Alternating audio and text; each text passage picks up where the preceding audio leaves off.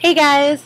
Um, I recently got an iPod. I've never been a big fan of them, but my friend decided to give me one. You know, he's like, no, there's no catch, go ahead and take it. So I was like, okay. So I took it, I put on my music in it, and I, you know, popped in the earphone, and I was listening to it for a few days.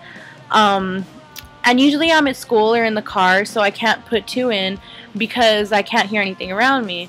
When I was at the doctor's office, I was like, okay, you know, I'll put both in. And I noticed that music wasn't coming out of one side. And I was like, okay, you know, maybe it's the headphone jacks. When I'll get home, I'll change it out. So I put up to three, four different types of headphones, and nothing was working. So I was like, crap. No wonder he didn't want the stupid iPod. I wonder how much it's going to cost to fix it.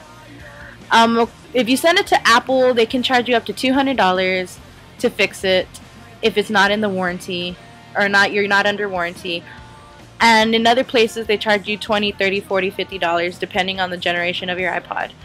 Um, so I was like, okay, this is obviously a common problem. There were a lot of links and questions online that um, their iPod, you know, one side had given out.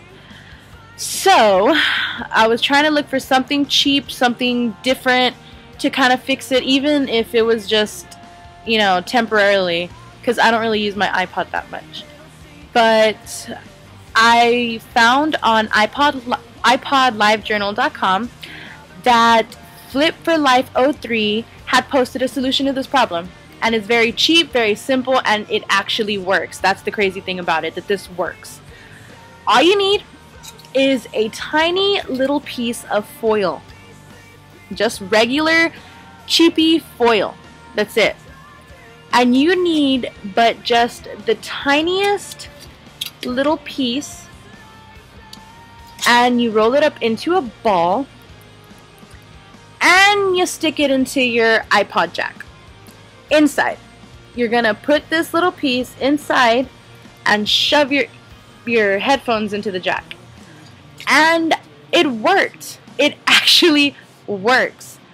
Um, I was a little bit skeptical about it because I was like, okay, if I put this aluminum in my iPod and it doesn't work, I have a piece of aluminum stuck in it, and now I'm not even going to get music in one side. But I was reading all the replies that uh, Flip for Life 03 had um, gotten, and they all were positive replies uh, but you have to make sure you do not put too much. If you put too much, it's not going to work. You're just going to block the connection and you're not going to get any type of music through any side. So make sure it's very teeny tiny, very small, and you stick it in your headphone jack. How crazy is that? I was when I put it in, I wasn't expecting it to work. I was like, okay, this is just gonna be some stupid thing that some guy came up with to see how many people were dumb enough to do it. But no, it works. So if you have a problem with your iPod getting music in one side, don't send it in. Don't pay a dime.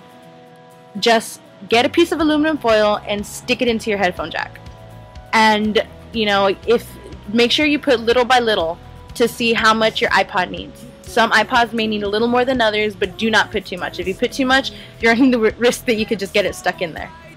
So I hope this helps. I hope if anybody has problems with their iPod out there, that they save about $200 by doing this method. It really works. So thanks for watching. Hope you enjoyed it. Bye. Now